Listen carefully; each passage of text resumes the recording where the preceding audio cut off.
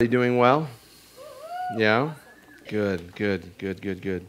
I think we should just kind of like, I think we should just take a second just to, to, to just, just stretch out a little bit. Like, you know what I'm saying? Like maybe hoot and holler or clap or yell or something like just get the, get the juices flowing a little bit.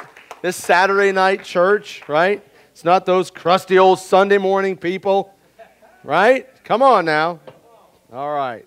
I need a little light up here, please. I'm getting old. I need to I can't see nothing. The glare off my head disturbing you? it's good to see everybody. It's good to see everybody. I I just want to say that I think that I think that might be the cutest baby I've ever seen in my life. That's that's story. Can you guys all say hello to story? no. Yeah, that's awesome. Awesome. Jess, recruiter. Early. oh, man, it's good to see everybody. Well, it's a joy to be able to, uh, to, to, to share God's word with you. I think it's the greatest uh, joy, yet the greatest burden uh, a human could have. And uh, so here, here we are, and I pray that you will hear from the Lord. That's why you're here, right? You're here to hear from Him. And so I, I pray that that will um, be the case. I just I feel like I just need to pray with you for a second. I just want to do this. I want to be obedient uh, to to the Lord's leading. So if you would just uh, for a moment, uh, Father, I, I thank you for this uh, this time. I pray, Lord, that you would give all of us ears to hear. Um, Lord, help us to to submit ourselves right now to the authority of your word uh, your precious word that gives life and hope. Lord, gives us direction, gives us wisdom, uh, revives our spirit. Lord, that's what your word is. It is precious and perfect.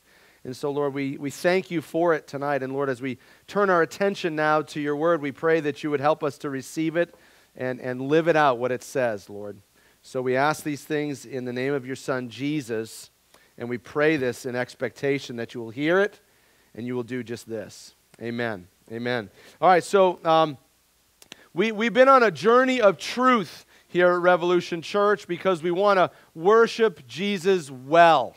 We want to worship him with a little enthusiasm, uh, what the scripture would say, spirit, get a little fired up about Jesus, not just here in the sanctuary when we get together and, and sing songs to him, but that should, that should uh, go into and permeate every part of our life, every part of our day, what we're doing at work, with our family, with our friends, whatever it is. We want to worship Jesus well, but we don't want to worship some made up Jesus, right? I don't I, look at. I don't want to. I don't want to worship some fake Jesus. Do you? Do you guys want to do that? I'm totally not in that program.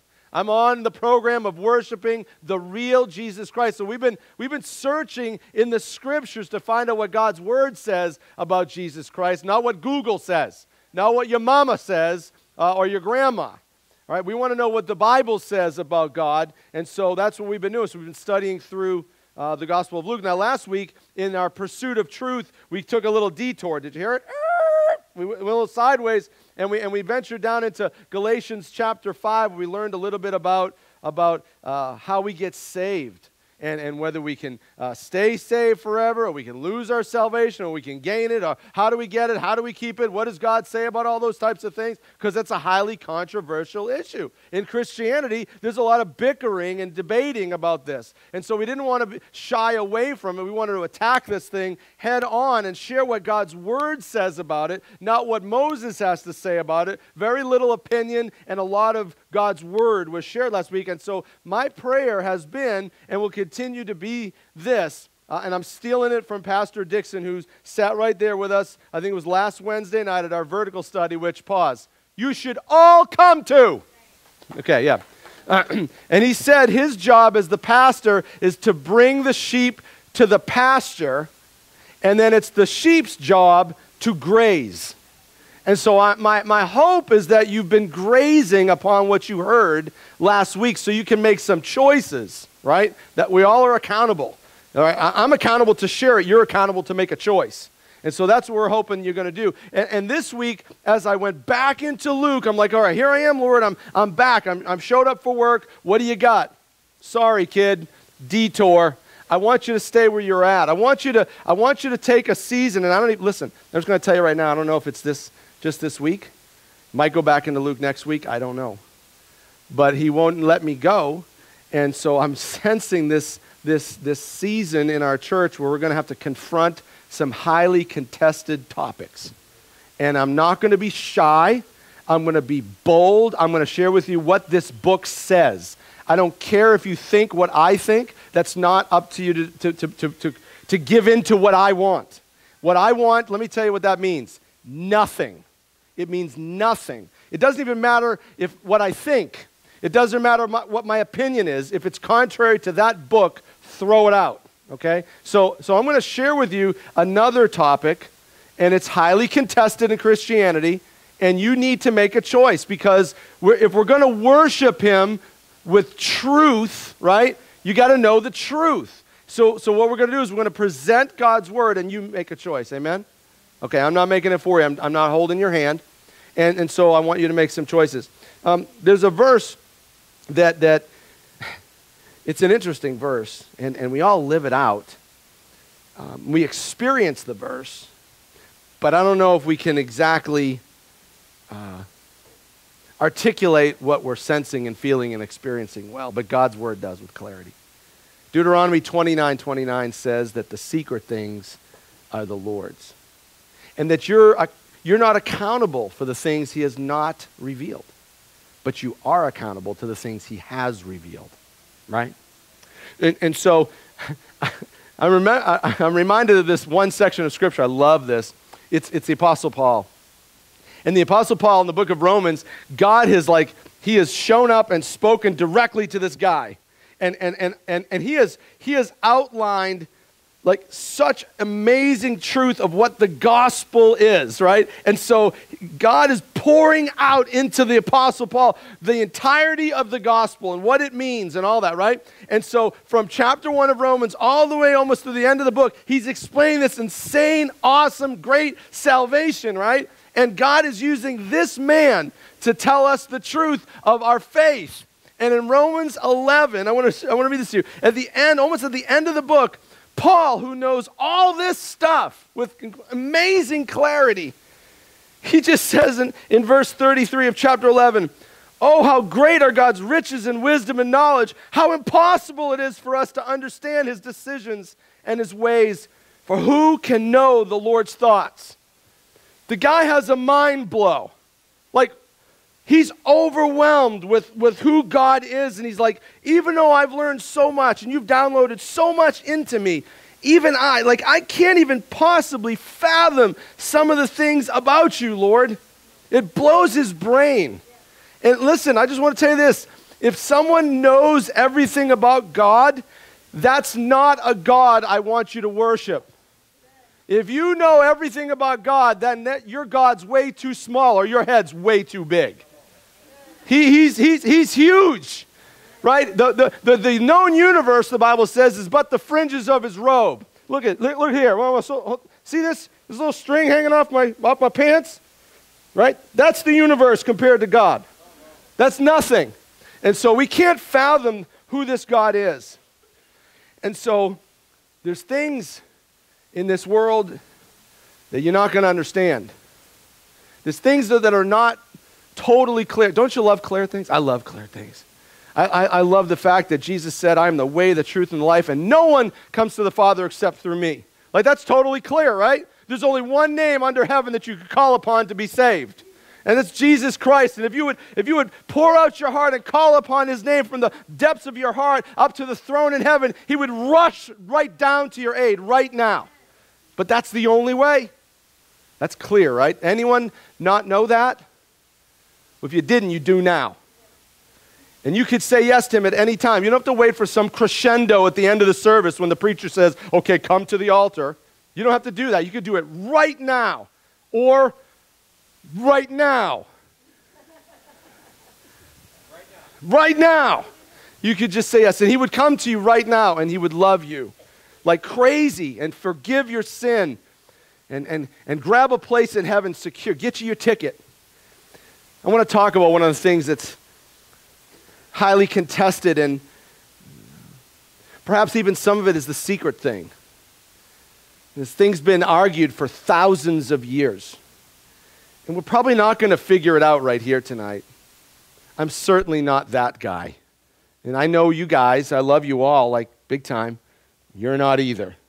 Even you with the Jesus shirt. Uh uh-uh. uh. That's not going to work.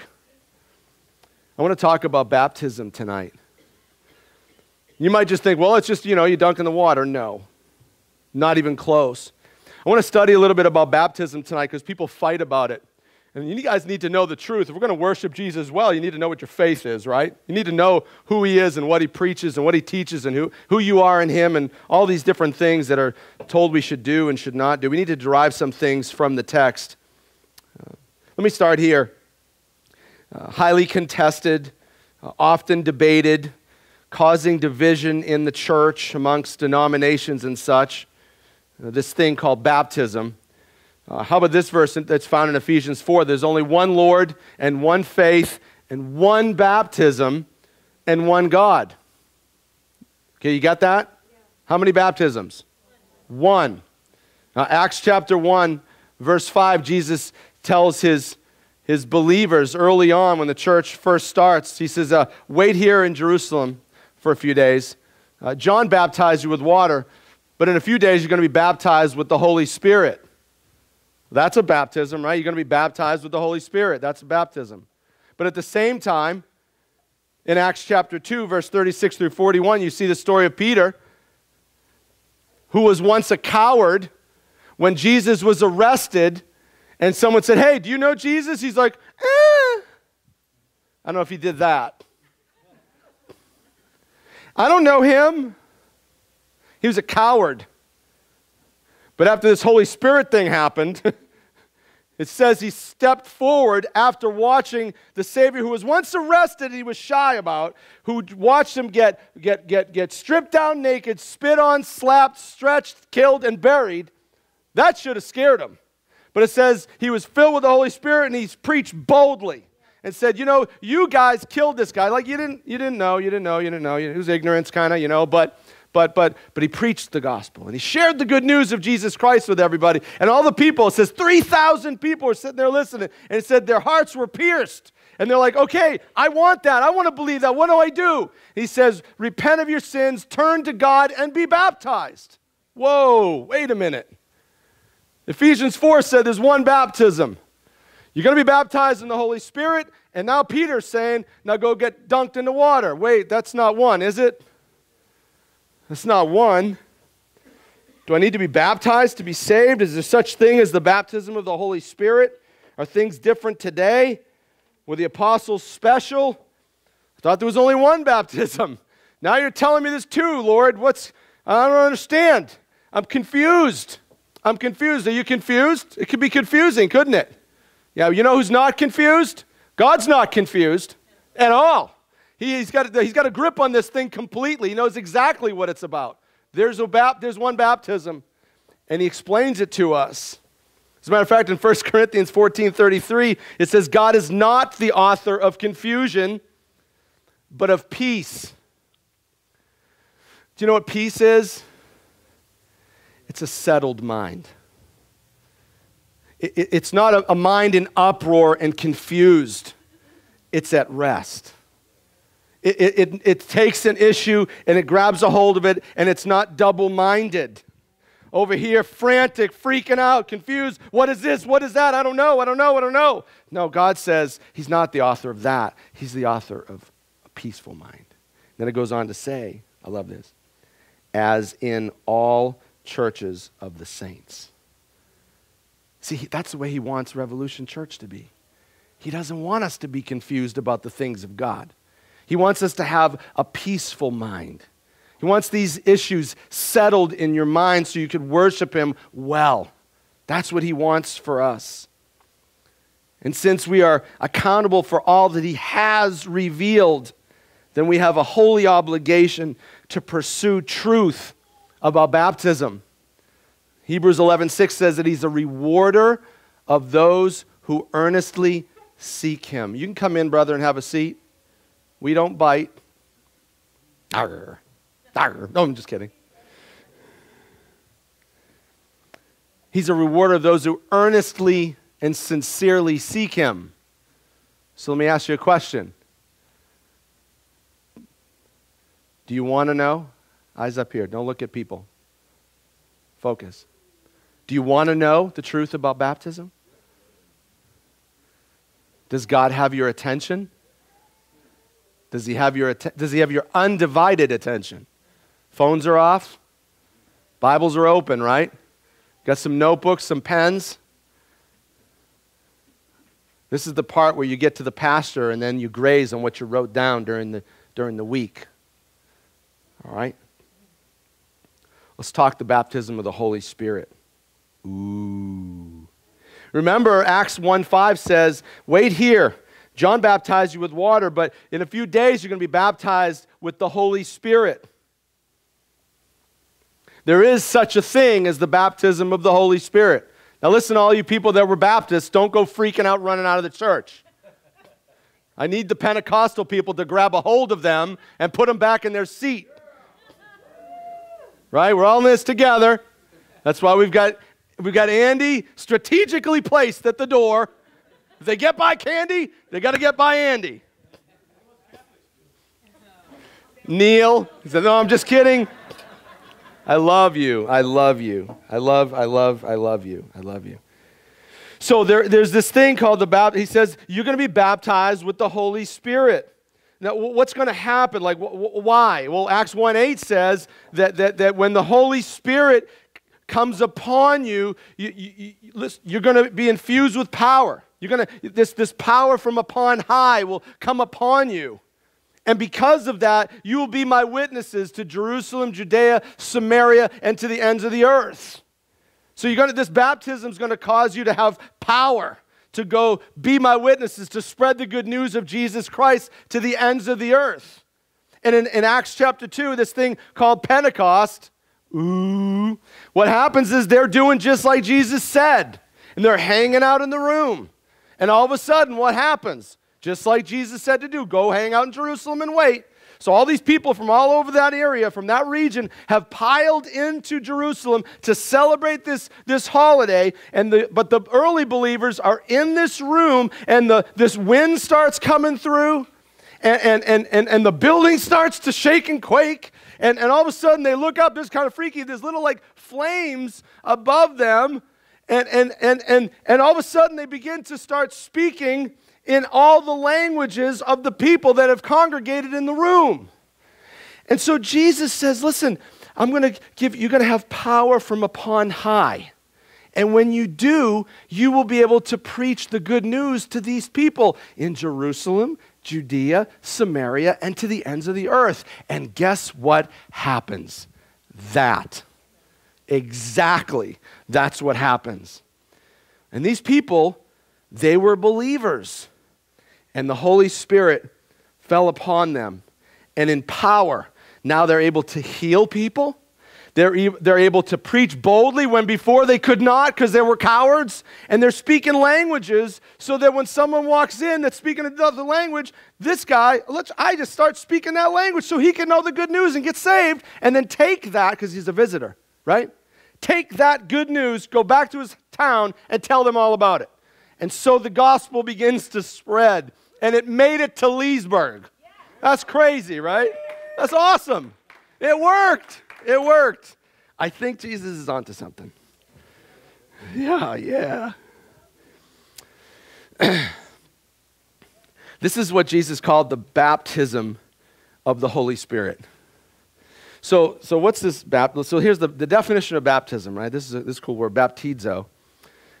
And it's I guarantee, unless you've done some like big studying on it, you, you wouldn't. It's a cool. It's the coolest definition ever. It's definitely fully wet. That's part of it. It says fully wet, which is why we dunk underwater here. But it says to make overwhelmed. That's what it says. It's to make overwhelmed. So, so, so it's not just like Jesus dunking Jesus is going to do something with the Holy Spirit that's, that's has nothing to do with water, right? It's this supernatural, spiritual thing that he's doing. And Jesus teaches about this with clarity. This whole thing about what happened at Pentecost in Acts chapter 2, he talks about it in advance in John 16, where he says that this Holy Spirit, it will, he will only come if and when I ascend to heaven. So he starts talking about that. And of course, they're like, wait a minute. And I'm like, wait a minute. Maybe you guys like, wait a minute. So, so, so Jesus says, if he'll only come if I leave. So, does that mean that before I leave, no Holy Spirit? some people think that, right? Because that kind of makes sense. Genesis 1 says, if you read it, in the beginning, the Holy Spirit was hovering over the waters. He was there. We're learning uh, in, in our Wednesday night vertical study the difference between the omnipresence of God, which is like the Holy Spirit hovering over the everything, over the chaos before the worlds were really formed, and the Holy Spirit, don't ask me how that all worked out, but, but He was there hanging out, looking at stuff. That, that, that's the omnipresence of God. It's, it's Psalm 139 7. I can never escape your spirit, David says. If I go to heaven, there you are. If I go to the, the, the, the lower parts of the earth, there you are. If I, if I soar on wings of the morning, there you are. If I go to the farthest ocean, there you are. That, that, that's the Holy Spirit, God's omnipresence. He is everywhere right now, right in front of your face. That's the Holy Spirit, right there, right now. Right behind you, whoa, there he is, right? The Holy, he's, when he's behind you, he's the Holy Ghost. Woo, right? When he's in front of you, he's the Holy Spirit. He's in your car, he's at your house, He's at the ball game. He's in your boat. He's everywhere. He's every single place at every single moment throughout the entire universe. Right now, the Holy Spirit. He is. But there's a difference between the, the omnipresence of the Holy Spirit and the manifest presence of the Holy Spirit. See, omnipresence is God's Spirit is everywhere at all times. But where He's at work in visual, tangible ways, ministering to and through his people in a powerful way. That's his manifest presence. That's where he is right now at work, and you can see it. Fully overwhelmed. That's, what it, that's the manifest presence of God's Spirit. There is, for sure, a baptism of the Holy Spirit. And this whole idea of being overwhelmed by the Spirit, where He's at work in tangible ways, that's what we're shooting for here at Revolution. That's what we want every day. If there was a way for us to, to, to, to plead with the Lord, to beg the Lord, to provoke the Lord, to, to ask the Lord, to do whatever we could so that that would happen, that's what we're shooting for. Every single time we're here, someone got to give me an amen. Please. Come on. That's what we want. There is a baptism of the Holy Spirit. It's real, it's in the Bible. there was a distinct time when, when, when the Holy Spirit filled those believers. They were already believers.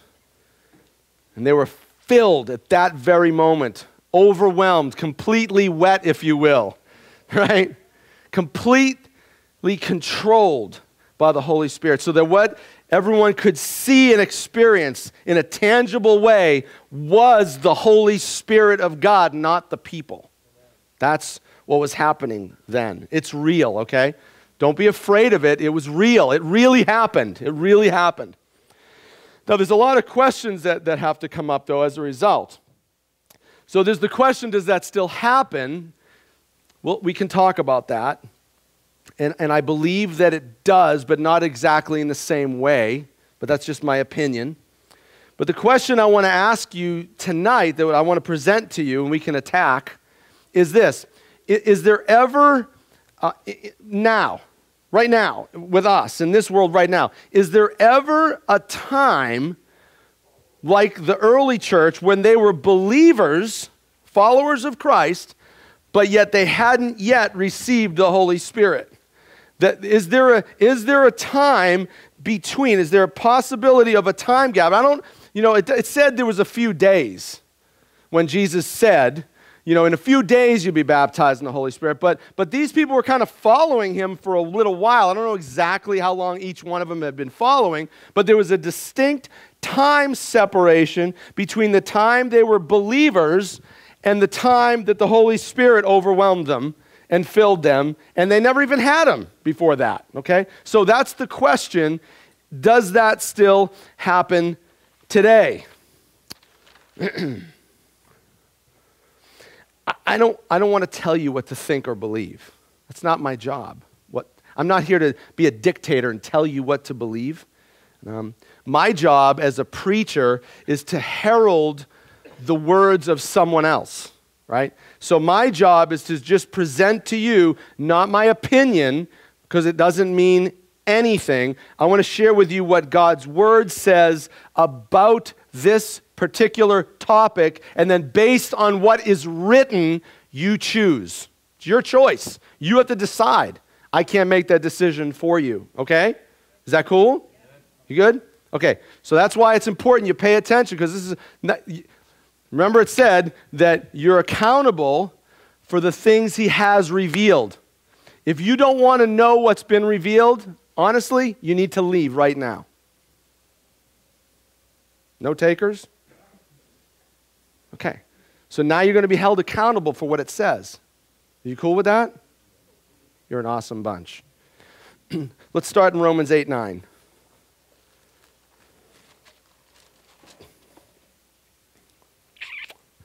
Very interesting section of Scripture. Tell me when you're there. I would, I would hate to see a night go by where we're studying God's Word that you don't put a copy of it in front of your face.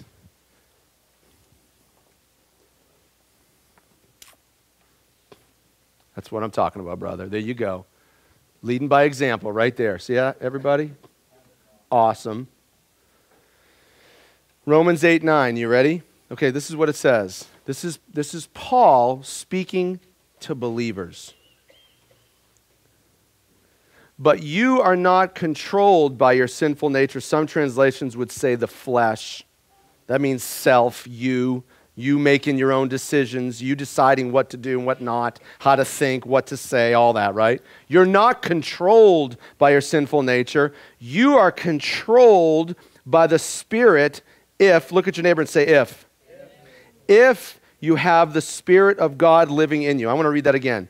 You are controlled by the Spirit if you have the Spirit of God living in you.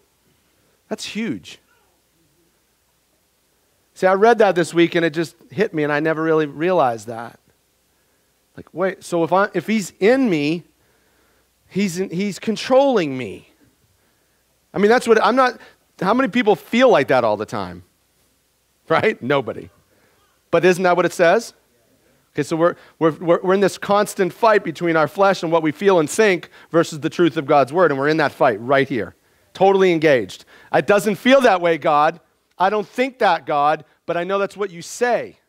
And so we have to reconcile that in our own head and our own heart. We have to try to adjust our thinking and our life according to the truth of God's word, not the way we feel. We're not God, He is.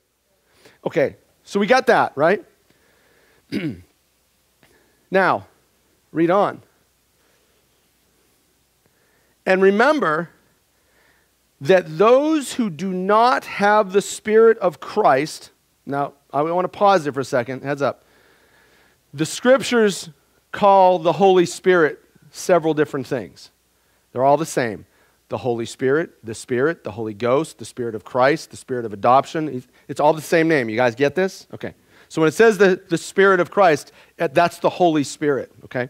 So it says, and remember that those who do not have the Spirit of Christ living in them do not belong to Him at all. I don't have to clarify that, do I? But just, just, just in case, we had a question a moment ago. Is there a time that you can be a follower of Christ, a Christian, not have the Holy Spirit, and then sometime you get it. Because I hear it all the time. Well, my brother John, Dave, and Susan got the Holy Ghost. Well, wait a minute. It says, not the way I feel, not the way I think. Read with me again. Remember that those who do not have the Spirit of Christ living in them do not belong to Jesus. So, what does that mean if we flip it?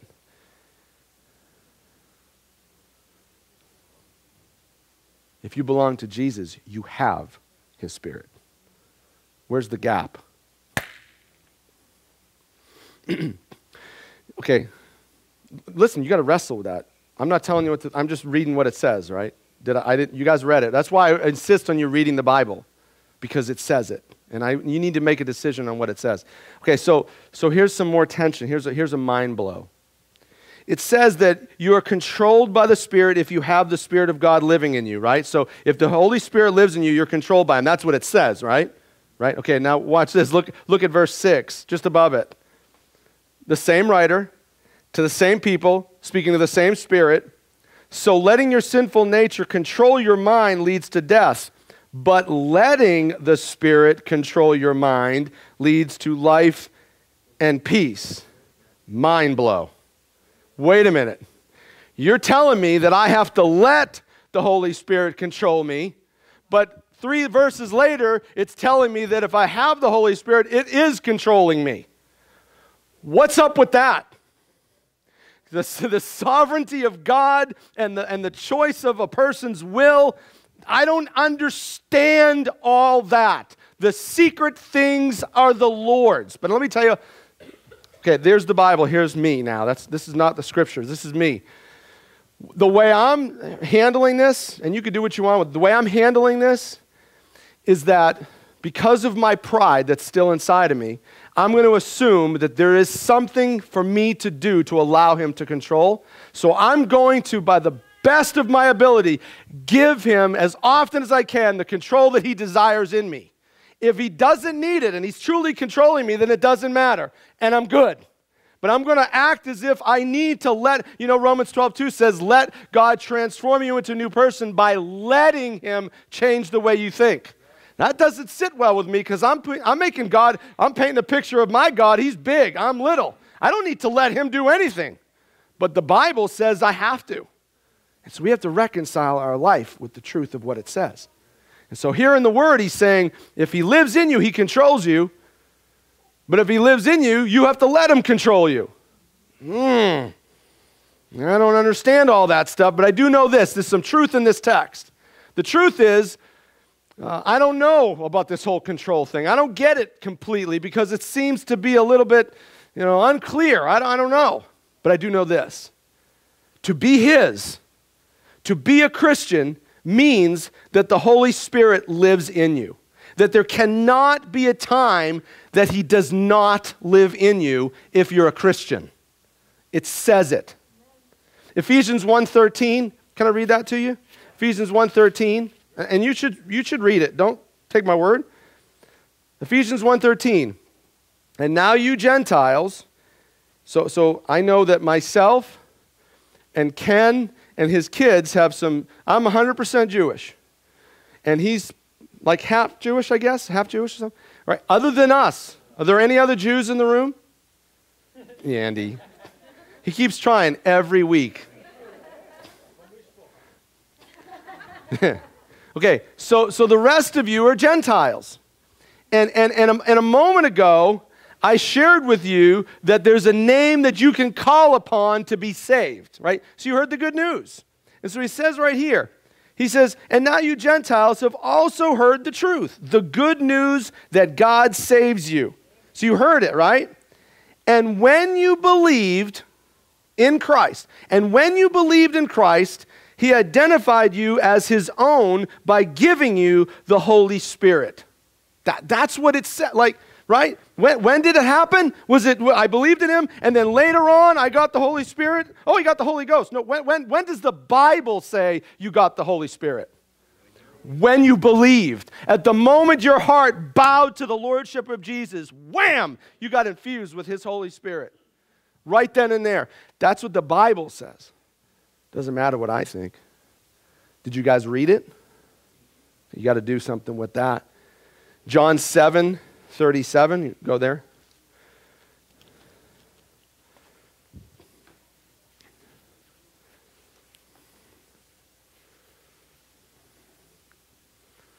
So, Jesus, the rock star that he was, always drawing a crowd. He stands up in front of the crowd and he shouts to the crowd. I mean, this is just insane what he does here, but that's a whole other sermon. He yells out in red. You guys, guys have your attention? Okay. Verse 37. He stands up and he yells this Anyone who is thirsty may come to me. Anyone who believes in me may come and drink.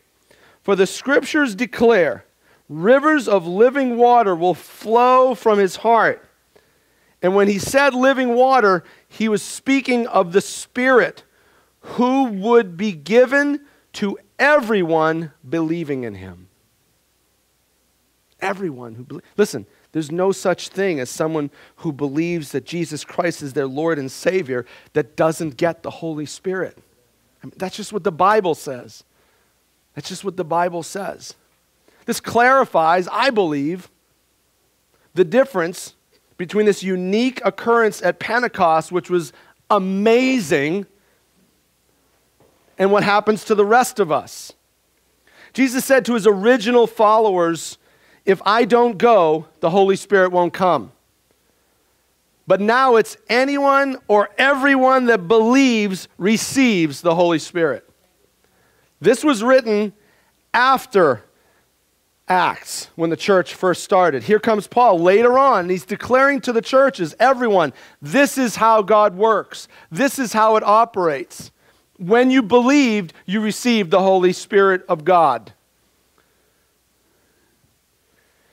So now I've delivered to you the word of the Lord. And so now it's your holy obligation to take what you got there and meditate on it and study it and choose. Know the truth. Make a decision based on what it says. If you want to throw out my little commentary over here, totally fine. I told you what I'm doing, and that's it. Okay? Are we good? Let's move on. Let's talk a little bit about water baptism, what, you know, what it is, why we do it. Uh, most, you know, obviously in, in, in our world, you know, in our Christian church, uh, people talk about baptism. Let's get, did you get baptized? When did you get baptized? We dunk, we sprinkle, all that kind of stuff. Let me just say right now that it says fully wet, so we dunk. Okay, does that mean that only people who got dunked will be around the throne singing, Holy, Holy, Holy is the Lord God Almighty. That's a big no, okay? That's a big no. But, but, but baptism in the church is huge. Uh, but it didn't start with us Christians, it started with the Jewish people. It started with the Jewish people. There was a, there was a thing called a mikvah. A mikvah was not like our tank over here that you can buy at Tractor Supply. The mikvah was when they, when they would start a, a, a town, a village, the first thing they would do before they even built the synagogue was build the mikvah, which was it was a it was a bath, and it was built out of rock, and you know what they had back then. They didn't call go to Home Depot and get stuff. They used to use rock, and they would build this tank. And they'd fill it with water. The reason why they did that is because in the Jewish faith, you couldn't step into the temple and worship God if you were ceremonially or religiously unclean. What does that mean? Well, it's a long list of things that that could mean, but just the short list is that if you had come in contact with a leper, which made Jesus so awesome because he, he engaged the leper. That was awesome, right? If you came in contact with a leper, you were unclean. You couldn't even go into the temple to worship. No sense in building a synagogue if you can't even go in. So they do the mikvah first. If you, if you came in contact with, uh, with a corpse, unclean. If you came in contact with a grave, unclean. If you came in contact with a Gentile, you guys, unclean. If a woman was having her monthly cycle and she was bleeding, unclean. If she had just had a child, unclean. You were unfit for worship. And so they would take you down to the mikvah and they would take you in and they would dunk you down fully wet and they would pray. The water had nominal value, nominal power. It didn't do a whole lot, it's just water. Our tank is filled right out of our hot water heater from, from, from the city of Leesburg's whatever. Nothing special. This is not holy water, guys. It's water. That's it. Right? And their water back then was not holy water. It was a bath. It was, a, it was for ceremony and ritual. The, the water had very little power to do anything to the person. Perhaps the praying would tra- transform someone's heart and it would be an expression of what was going on inside and you could repent and turn to God and all those things. Okay, that's fine, but water itself is just water. I could pour water all over your head right now. It's not going to clean you in, on the inside. It had no inward effect at all. Much like the circumcision of the Jew. Like, I don't want to be graphic, I got no visual aids here, but you all know what that is, right? Right? Just because you cut off a piece of skin, does that mean that you're like, you love the Lord and, and you believe Him and you're following Him in all things? Because I'll cut a finger off right now if that's going to like get me into heaven for sure. It's worth it. I got nine more. But, but that was an outer, that was a mark on the outer body that, that didn't have anything to do with what was going on on the inside. And God's always looking to your heart, not at your physical. And so the first Christians, as you may know, they were Jewish people. They were coming to know the Lord Jesus. And so ceremonial dunking, that was the norm back then in the Jewish faith, and so it became the norm here in our Christian faith. And it has continued even to this day, where we're still baptizing, dunking people underwater to represent something. It's a ceremony, it's a ritual, but it doesn't clean the body, it doesn't clean the heart. It doesn't clean your mind of, of sinful, vile thoughts. It doesn't change deviant behavior. It's just water, it's ceremony. But what does clean you? Romans 3:22 says we are made right with God by placing our faith in Jesus Christ, and this is true for everyone who believes. That's what cleanses you. Verse 25 goes on People are made right with God when they believe that Jesus Christ sacrificed his life, shedding his blood. Verse 26 For God himself is fair and just, and he declares sinners to be right in his sight when they believe in Jesus. Anyone picking up a pattern here? What cleanses you? Belief in Jesus Christ. Ephesians 2 8 says, God saved you by his grace when? When you believed. John 6, 47. Anyone who believes has eternal life. John 3, 16. For God so loved the world that he sent his only begotten Son. So whoever believes in him shall not perish, but have everlasting life. What cleans us? Belief in Jesus Christ. That's what cleans us.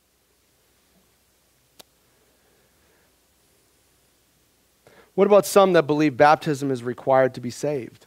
That's a popular belief system. Those that believe that, there's one verse in Scripture, I kind of shared it with you already, and that's what they stand on. One, there's one verse, there's a couple of that kind of lend us to maybe, possibly, but there's one that they stand on. And it's what I share with you in Acts chapter 2 when Peter is preaching to the people, and their hearts were pierced. And they said, Brothers, what do we got to do? I want this. He said, Repent of your sin, turn to God, and be baptized for the forgiveness of your sins. So that kind of, okay, well, then maybe I need to do all of those things. I mean, that's what it says, right? Here we are again. We're, we're confronted with this, this challenge. It says, Repent of your sin. What's that mean? Sorry, Lord. I'm sorry for what I did. What I did was wrong, and what you say about it is right. And, I, and, and, turning to God means based on that, I'm now not going to do that stuff anymore. Now I'm going to do it your way all the time, every way. That's turning to God. But, and be baptized for the forgiveness of sin. So that means we got to get baptized. I mean, that's what it says, right? Do you agree that, that did anyone read it when I asked you to read it? Because that's what it says. but here's the problem. If you go to, that's Acts chapter 2, verse 38. Acts chapter 3, verse 19. same guy, Peter, who said those words Repent of your sin, turn to God, and be baptized for the forgiveness of sin. That same guy walks into the temple filled with all these Jewish people, and he shares the gospel with them. And then what does he say? When they, when they want to know what to do, he says, Now, repent of your sins and turn to God so that your sins may be wiped away. Where's the baptism? What happened? Did he just forget and all those people are going to hell, right? You see, there's a, there's a tension there. Do, do you see it? it? The same guy looks at all these people and says, Repent of your sin, turn to God, and be baptized for the forgiveness. And the same guy says to other people, Repent of your sin and turn to God to be forgiven of your sins. What happened to baptism? I'm just telling you, again, there's the Bible, here's me. Peter didn't forget. he didn't just simply forget. The Holy Spirit that was inspiring the writers of Scripture didn't, oh man, we forgot to tell Peter about that part. What are we going to do? We'll have to do a, a, sequel because those people, they don't get it. What are we going to do? What are we going to do? What are we going to do? Uh huh, I don't, I don't get it. Doesn't make any sense. So, some tension there. I think one clarifies the other, but you need to make that choice yourself. You need to make that decision on your own. But I think that because this same guy said, turn to God, repent of sin to be forgiven, and with no mention of baptism, plus all the other five verses that I shared with you, which is just a short list of a very long list, I believe that it's clear. Salvation occurs at the moment one believes in Jesus Christ as Lord and Savior. That's what I believe. We can't stand on one verse and start a denomination about it. It's the full counsel of God that we have to take into, into account. We take one verse and we compare it against the other hundred of them. And the hundred have to trump the one. One, yeah, come on. One can't trump the hundred, right? We take the full counsel of God. Salvation also means that the Holy Spirit, the Holy Ghost, the Spirit of Christ, now lives in you, and you have received power from upon high for ministry effectiveness. All of you. I want you to be bold. As I want the band to come back up a second, please. As they're coming up, boldly. Listen, remember Peter was bold? Remember Peter was bold? When he had the Holy, it said being filled with the Holy Spirit. If the Bible is true and that the moment that you got saved, you got the Holy Spirit inside of you, right? The same Spirit that raised Christ from the dead now lives in you. So it gives you the ability to be bold, right? Unashamed, unafraid. I'm not ashamed of the gospel. I'm going to ask you right now. If you do you believe in Jesus Christ as your Lord and Savior? Raise your hand if you do. Awesome, right? That means the Holy Spirit lives inside of you. All of him lives inside of you, right? All of him lives inside of you. He's not waiting to move in. He's not waiting for you to clear stuff out so he can move his couch in. He's there. He's in you. It's the same spirit that raised Christ from the dead. He lives in you right now.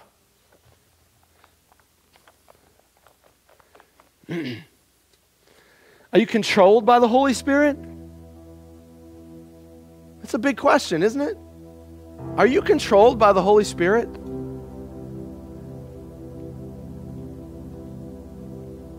I mean, if He lives in you and the Bible says it, are you controlled by the Holy Spirit? Or, or must you, what must we allow such control? I, I'm not 100% sure, man.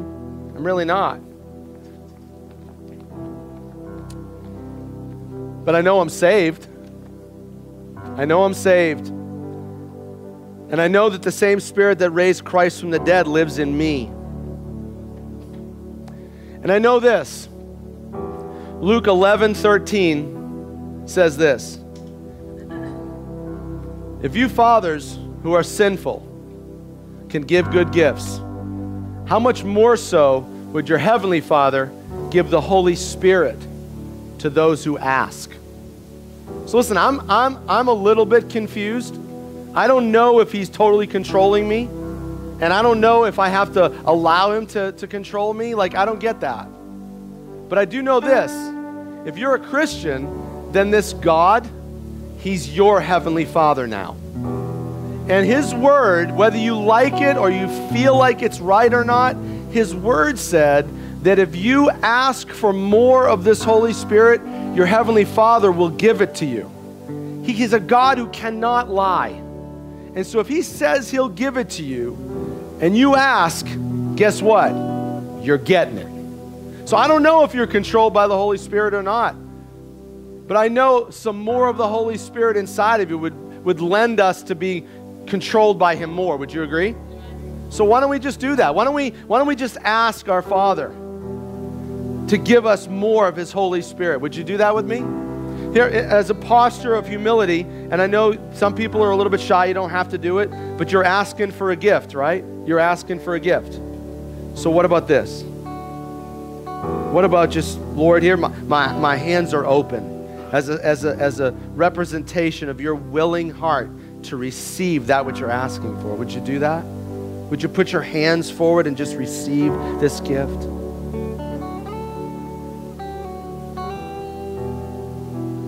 Lord, you, like your word says, we, we, we, we're controlled by your spirit because we said yes, we believe that Jesus is our Lord and Savior.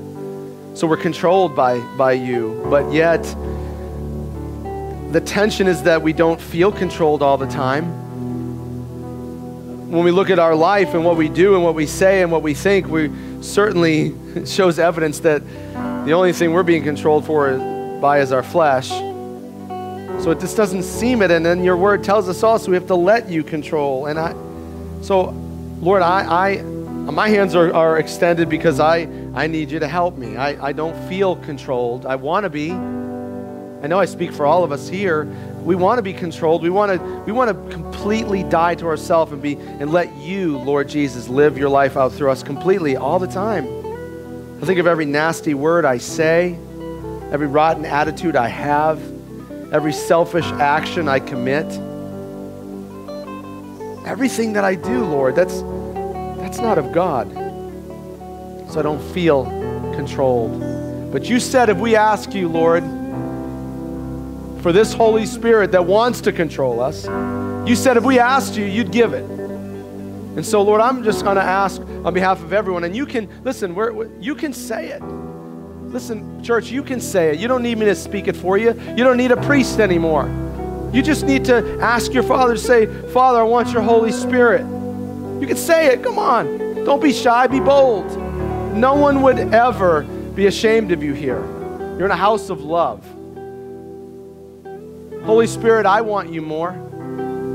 I want you to control me. I want you to take over every single thing that I do.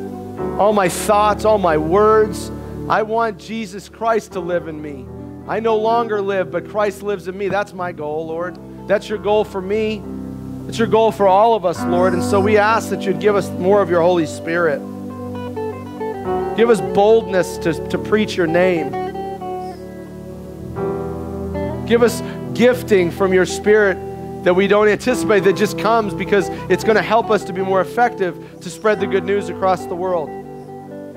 Whatever gift, Lord, you want for us, more of you, more of your gifts, so we can be more effective for you. That's what we want.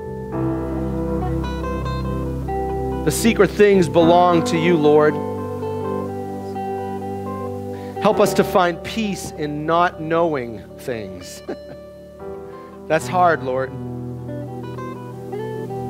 Help us to trust in your love to trust in your compassion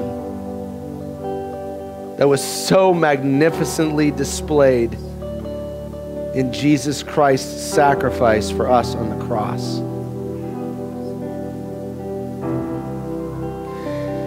As we said tonight, all who believe receive eternal life and God's Holy Spirit. Anyone who believes that Jesus Christ is Lord and that He shed His blood on the cross for, your, for the forgiveness of your sin, if you believe that, you receive eternal life. And so I want to I want to make a plea for Almighty God to you. If you want eternal life right now, if you want Jesus' Spirit to come and live inside of you so that you might have everlasting life, you can come forth right now. This is the night we're talking about boldness. You can come forward right now, unashamed, admitting as you walk up to the front of this church. We never do this, but I feel bold. I want you to be bold to walk forward and admit that you are a sinner in need of a Savior and you want Him to rush to your aid right now and save you. And you can come forward right now for that. And He would rejoice and we would rejoice with you.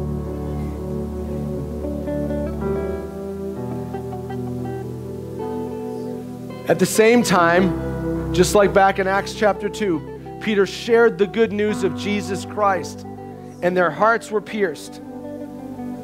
And they said, Brothers, what do we do?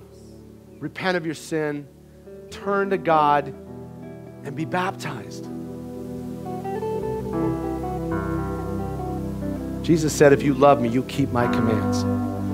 And so I, I just want to let you know that if you feel God piercing your heart right now and you have said yes to Jesus Christ as Lord and Savior, but you've never yet taken that step of obedience, I've been praying for you all day long. And I'm making a plea as if God was speaking through me right now. Don't shy away from this obedience. The water is warm, the water is clean, the towels are clean. No better time than to be obedient right now to God's word and be baptized in the name of the Father, the Son, and the Holy Spirit. And if you want to be baptized right now, we're ready. We're ready. And you can come forward and we can do that. This is a night to be bold. Don't be afraid. I know people that have sat, I baptized my wife who had been saved, she thought, for 30 plus years, and I baptized her. We baptized our old worship leader. I baptized a pastor's wife that night. People that we, everyone thought they were saved. But they hadn't been. They wanted to get saved. They got saved right then and there, and they got baptized. Listen, don't be ashamed. Don't think that because you've been in this church for five, six years, that I'll be embarrassed if I walk forward. We would celebrate with you right now.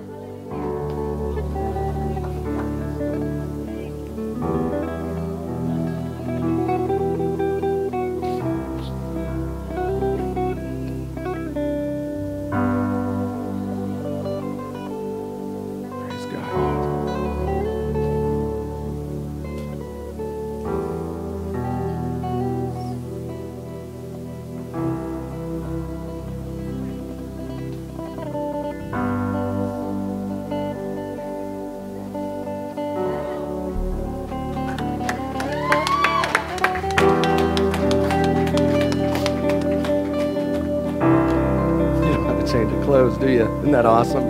I love that. But we have fresh towels. Can everybody do me a favor? Let's get out of our comfort zone. Get up out of your seats. Come on over here.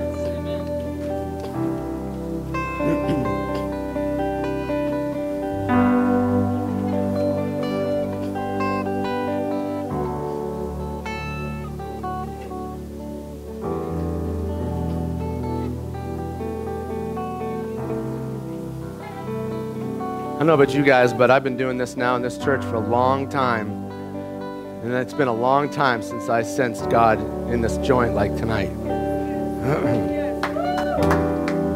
it's kind of freaking me out, dudes.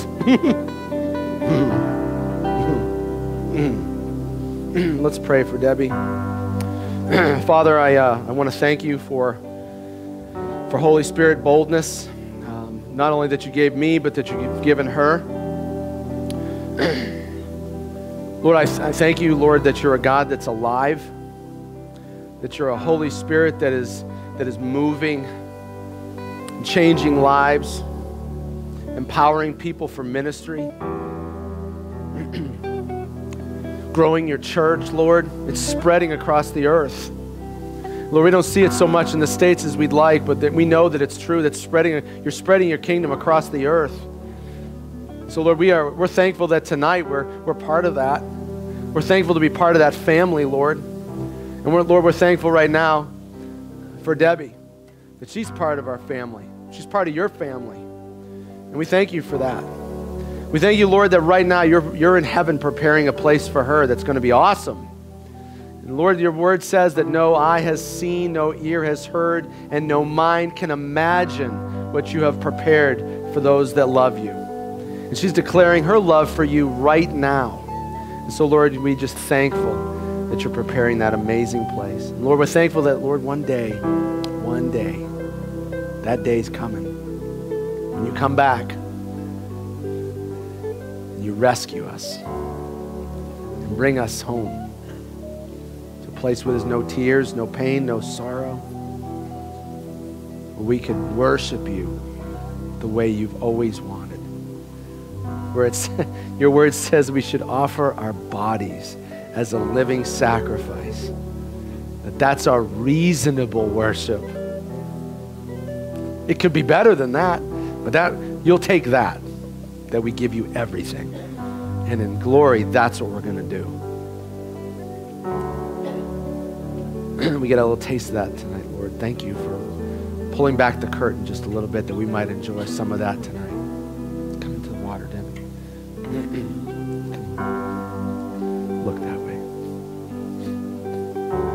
You know what? Come here. Come here. Come around. Come around. There's a step. There's a step back there. Okay, it's solid.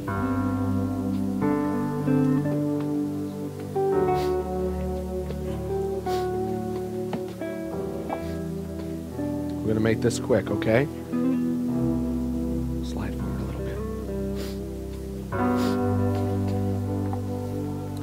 Real quick, I'm going to ask you one simple question. Say it loud and proud.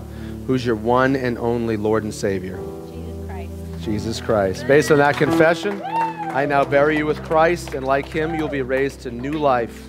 Wait, wait. Your phone? Okay, what do we do? You know what? It's okay. Listen, it's okay. You don't need to it's you don't need to go under. Listen. Is it important to you to go under? Do you need help? Go ahead. Go ahead. Men, look away, please.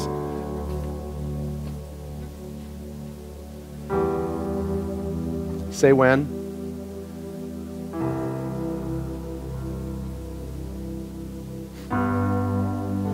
We good? Okay. As I was about to say, based on your confession that Jesus Christ is Lord of your life, I now bury you with Christ, and like him, you'll be raised to new life because you trusted in the mighty power of God that raised Jesus Christ from the dead. Debbie, I now baptize you in the name of the Father, the Son, and the Holy Spirit.